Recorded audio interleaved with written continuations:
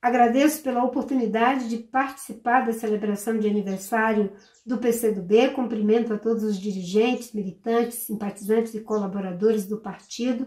O PCdoB, ao longo de todos esses anos, se constituiu como uma espécie de escola onde ensinou o valor da justiça social, da defesa da democracia e de viver por um ideal. Esse é um momento difícil da história do nosso país, onde temos uma grave crise de saúde pública, estamos perto de chegar a mais de 300 mil mortes, além da grave crise econômica que tem deixado as pessoas sem condições de ter um trabalho, uma renda que possa alimentar as suas famílias.